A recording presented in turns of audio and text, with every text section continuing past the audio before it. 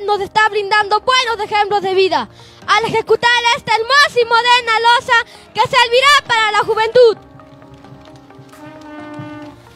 El parque para la recreación de la niñez y la zona de gimnasia para nuestros padres, brindándonos la salud, la alegría, la felicidad y el deporte.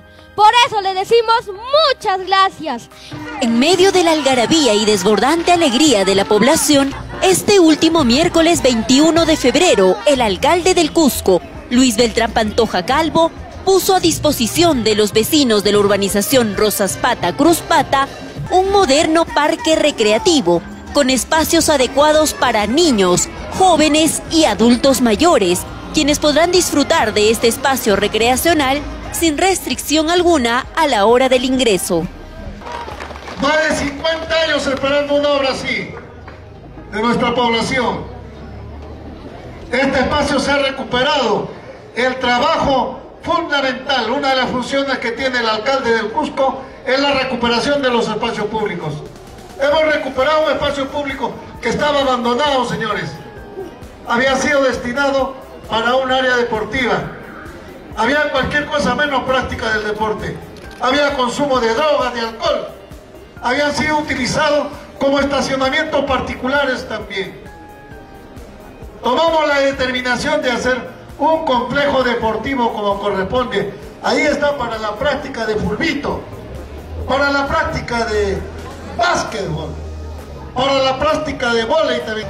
Esta obra destinada a la recreación y el deporte contó con un presupuesto de más de un millón de soles, el cual dio inicio en el mes de mayo del 2023 y culminó el 31 de diciembre del mismo año, en menos de nueve meses, y el cual abarca cuatro componentes, la losa deportiva, área de juegos debidamente implementados, área de actividad física para adultos mayores, servicios higiénicos diferenciados, luminaria para el uso del complejo deportivo en horas de la noche y finalmente el revestimiento con muros artísticos alusivos a las festividades costumbristas de nuestra tierra.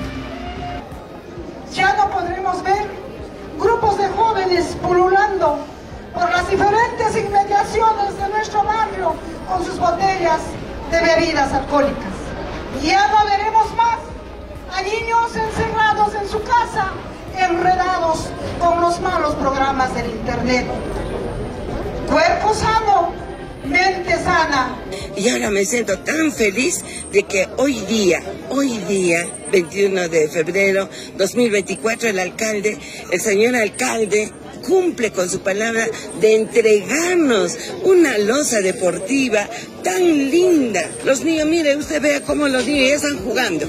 Las personas adultas vamos a venir, yo me voy a encargar de ellos, de traer a las personas adultas para que jueguen, para que hagan algunos ejercicios, porque el ejercicio la, eh, es vida y para nosotros eso es necesario, sobre todo en la tercera edad. Es importante indicar que durante varios años este espacio se encontraba en estado de abandono y siendo mal utilizado como garaje particular.